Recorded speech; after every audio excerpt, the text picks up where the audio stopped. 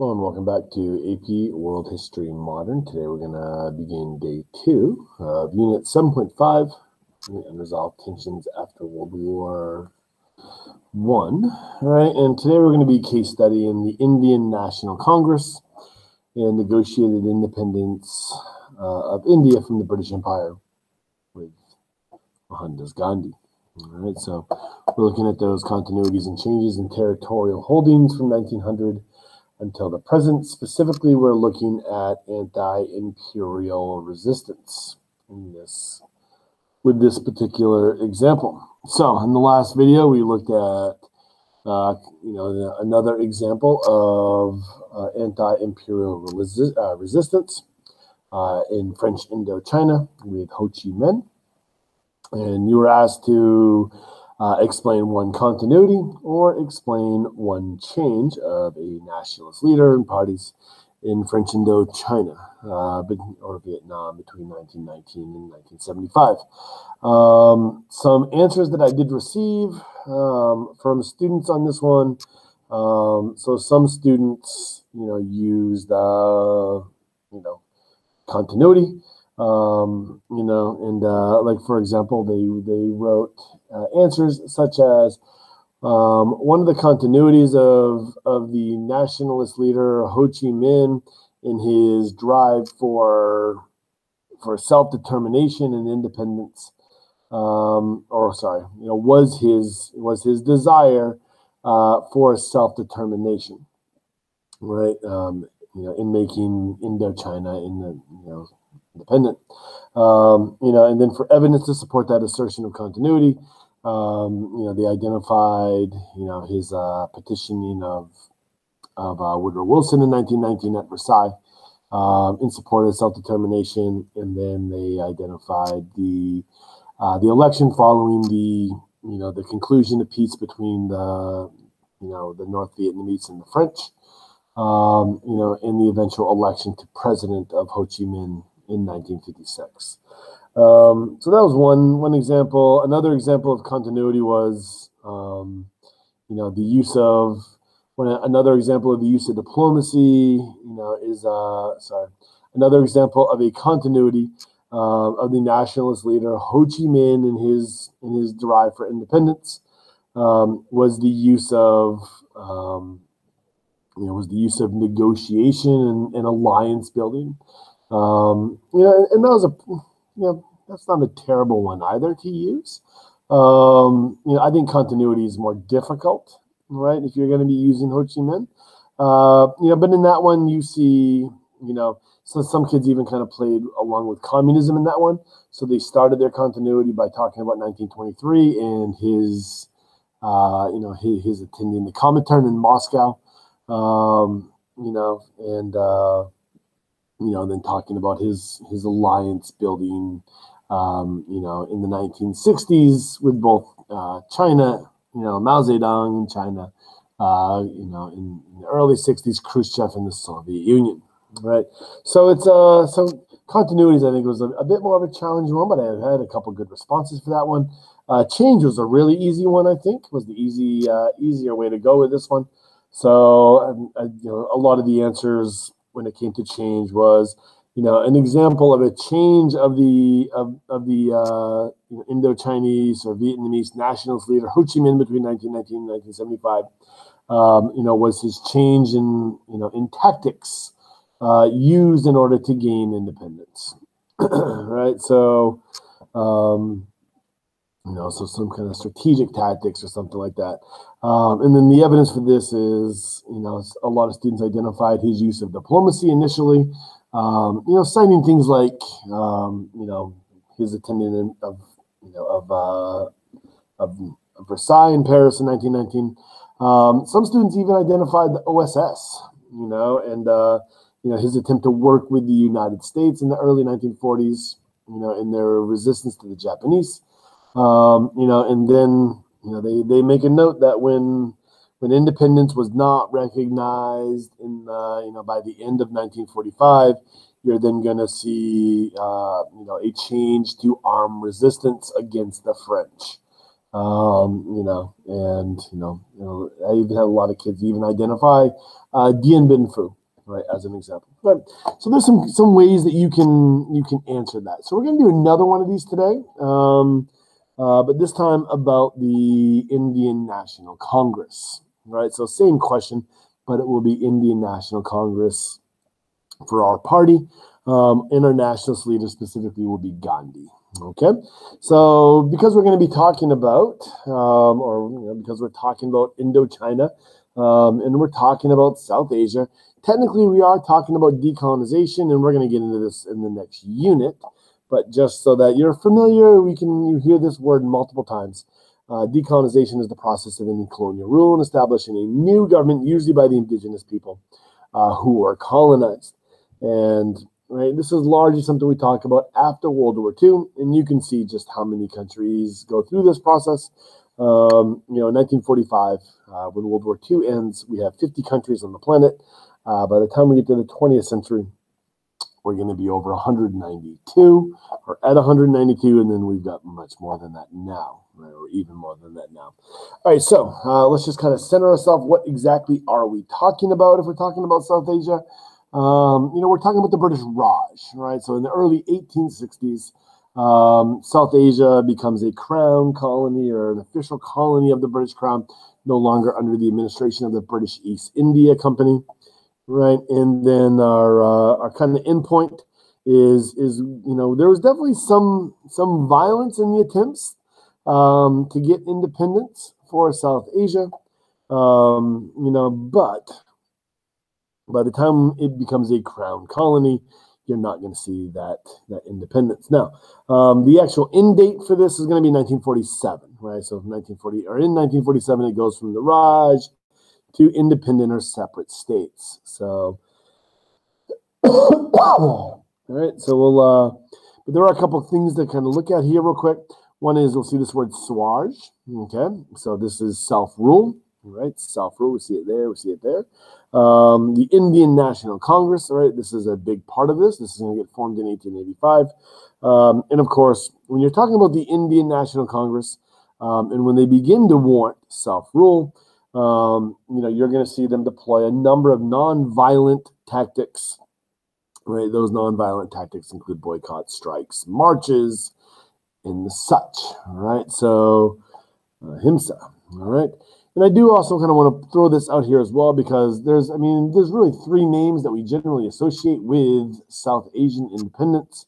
Um, you know, it is Gandhi, it is Muhammad Ali Jinnah, uh, and it is Nehru. Right, so you know, Gandhi and, and Jinnah, I'm sorry, Gandhi and uh, Nehru, right, kind of representing the kind of Hindu population of the Indian National Congress.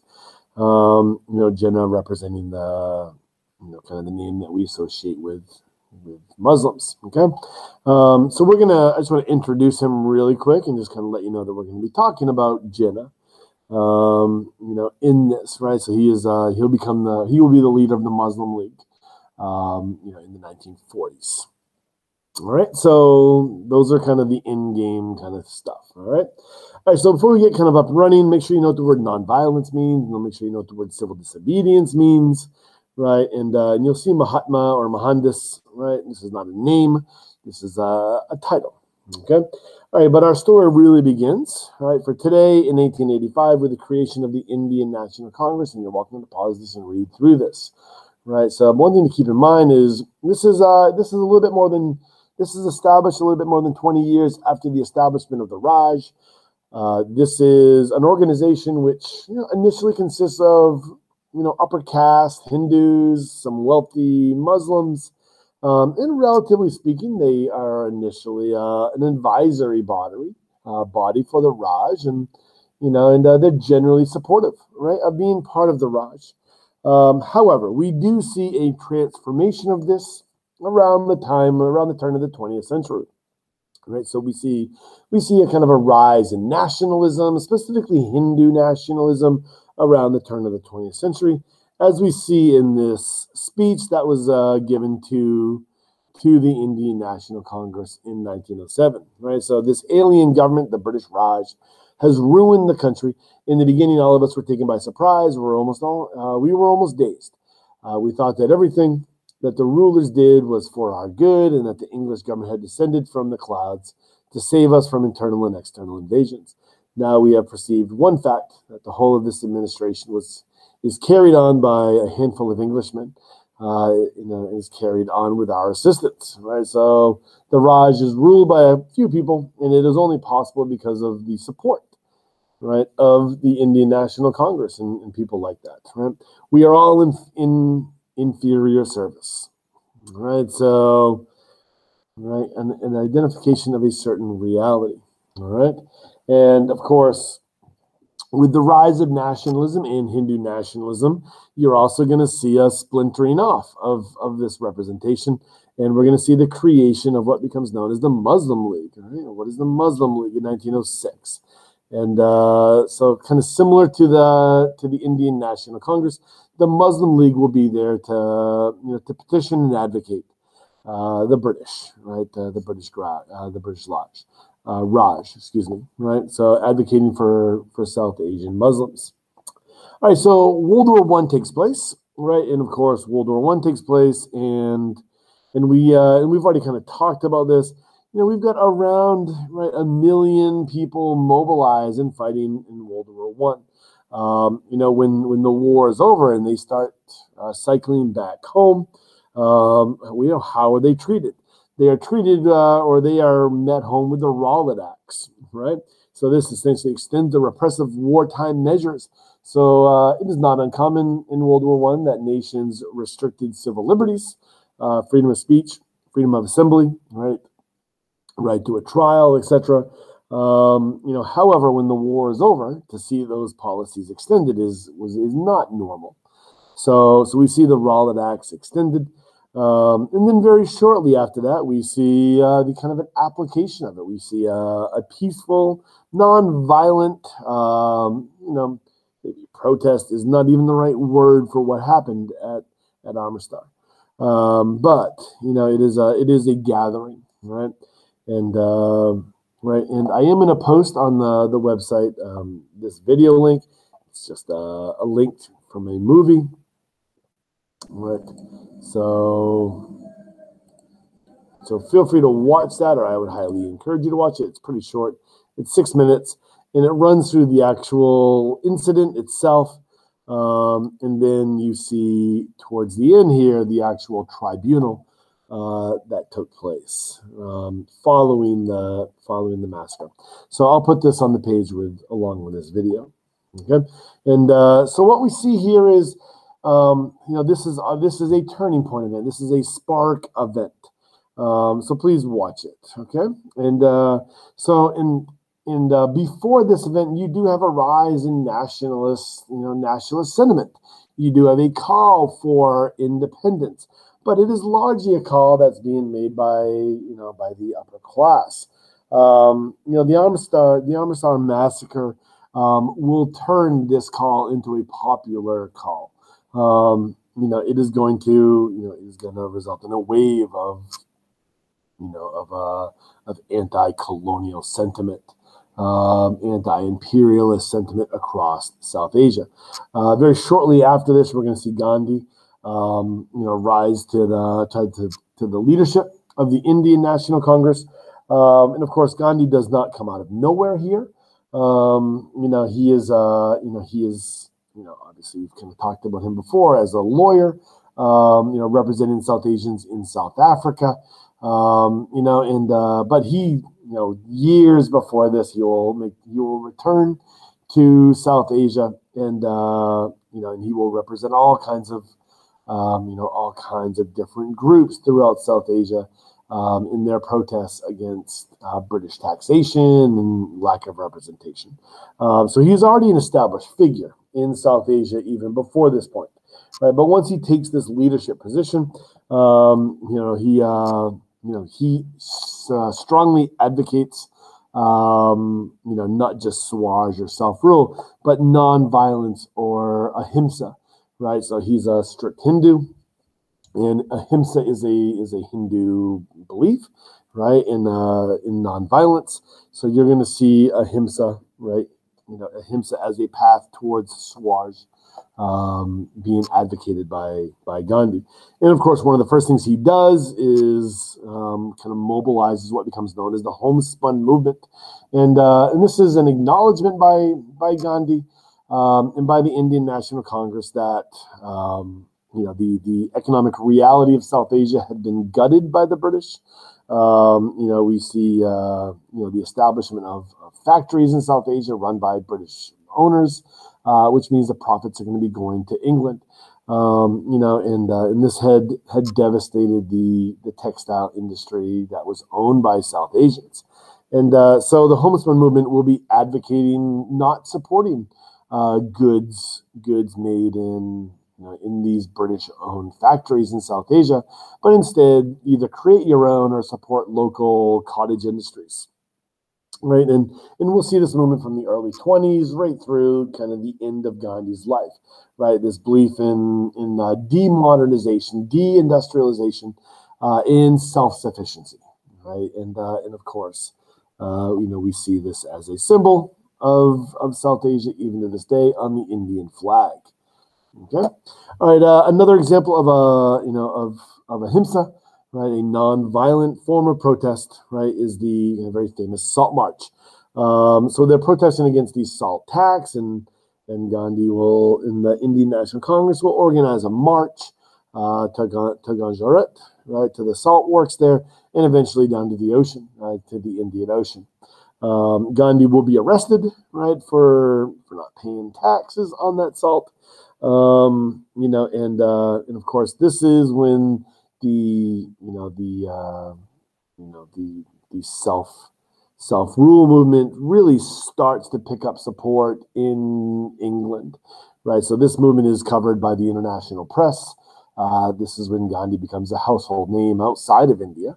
Um, you know, and uh, you know, and once the British start to lose popular support back home for maintaining the colony, then you're going to see kind of fruitful negotiations by the Indian National Congress. So these negotiations will result in the Government of India Act of 35, and and we're going to see, uh, you know, the first free elections in uh, in 1937.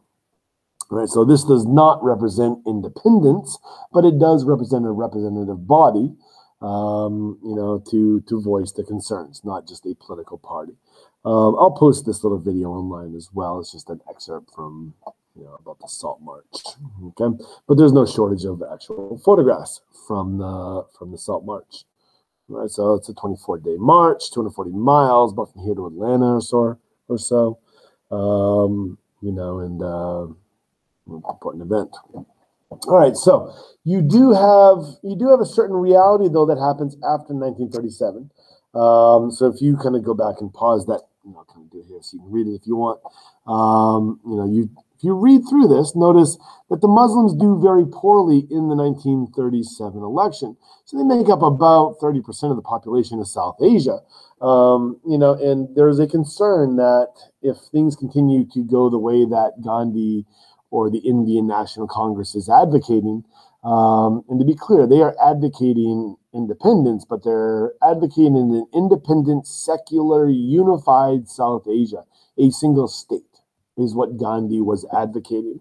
And following that 1937 election, um, the Muslim League is concerned. Right? They're concerned about democracy. They're concerned about protecting the you know the uh, that 30% of the population in a democracy. So. Uh, in 1940, we have uh, Muhammad Ali Jinnah give a very famous speech known as the Lahore Resolution. And this is when we begin to see advocation of, of a two state solution a Muslim state and the Hindu state. Okay, and and this was fine and and all like this was not didn't necessarily you know change things, but the world war but the war is going on. And then shortly after this, Gandhi, in the middle of World War II, is going to initiate what's known as the Quit India movement. And the Quit India movement is demanding immediate help, I mean, sorry, immediate independence it is also telling South Asians to do uh, to not support the British uh, in World War II. So do not fight against the Japanese. Do not fight against the Germans. Okay, and uh, you know, and initially the Indian National Congress will go along with this. Uh, however, you are going to see a splintering happen within the Indian National Congress uh, because of this, right? So there's going to be factions that support Gandhi because they support ahimsa, and this is a great example of ahimsa. Um, and there's going to be some that realize that they are, you know, they're losing influence with the British, uh, you know, by not standing with them in you know, in the middle of this war. Um, this is definitely viewed as a time when uh, the Muslim League gain, gets the ear of the British, right? Because the Muslim League does not, um, you know, kind of boycott the British during the war, you know. So, you know, it's, you know, by the time we get to the end of the Second World War, you now have Gandhi have been has been marginalized, right, in the in the view of the British. Uh, they don't want to deal with him anymore. Um, you know, and he has been marginalized within the Indian National Congress as well. Uh, we see the rise of Nehru as an alternative voice in the Indian National Congress. Uh, so, really, when we start talking about from the end of World War II, right, so kind of mid to late, you know, kind of you know, September, uh, by the time things wrap up in 1945, um, you know, from 1945 until August of 47 when independence happens. You know, Gandhi has a seat at the table technically. However, he is marginalized. And the two biggest names for those next kind of year and a half, two year period uh, is going to be is going to be Nehru and Jinnah. Right? Those are the two that are going to, um, you know, who are going to be dealing with Mountbatten, um, you know, the British right, the British Governor General there and representative. Okay, so you know, and uh, so when when independence finally is happen, you're going to see a partitioning into multiple states. So you'll get India, you'll get uh, West Pakistan and East Pakistan, um, which I which you know they'll this will change its name in 1971, I think, uh, to Bangladesh and you know Burma eventually becomes Myanmar. All right, so and then of course Sri Lanka right? Historic Ceylon. All right, so you're going to see, you know, multiple states get, get created out of this, okay? And, uh, right, but of course, you know, uh, you know, Gandhi will get marginalized. If you want some examples of kind of of, of how Gandhi is marginalized, um, in the middle of the Second World War, the Bengal famine takes place. Um, you could definitely view this as an example of a British genocide.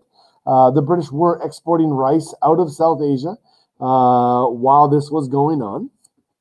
All right, so I guess this would be a second famine that happens under that we've kind of talked about under British colonial rule. Um, and you can see how Winston Churchill, the kind of at time prime minister, um, you know, how he viewed the famine, and then of course how he views Gandhi.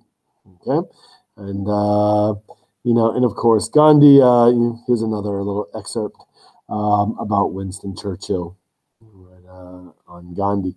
Um, you know, Gandhi is, you know, Gandhi is uh, definitely not favored by by Churchill. Uh, and of course, we have this kind of a speech from from the Quit India era.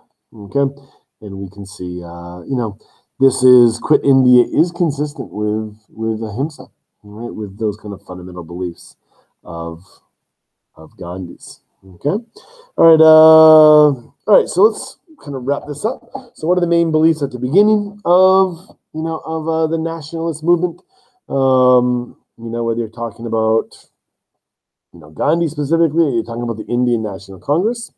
Um, you know, what are the beliefs uh, kind of as we're you know as we're getting near the time of independence, and what are the main beliefs after the time of independence? Okay. All right, so feel free to pause and, and read through all that. All right. And here's your SAQ for today. All right, so explain one continuity, right? One continuity, or explain one change of a nationalist leader and or party in South Asia between 1919 and 1947. Now, you know, if if I could make any suggestions, I would say if you want to if you want to develop a continuity, I think Gandhi would be the easy way to go. I think if you want to develop a change, I think the Indian National Congress would be an easy way to go. Um, technically, you are welcome to use the Muslim League on this one as well. So, so uh, once again, we're this is an explain SAQ, so make sure you do your assertion, right? Make your assertion or your claim. Make sure you cite specific evidence that supports the assertion.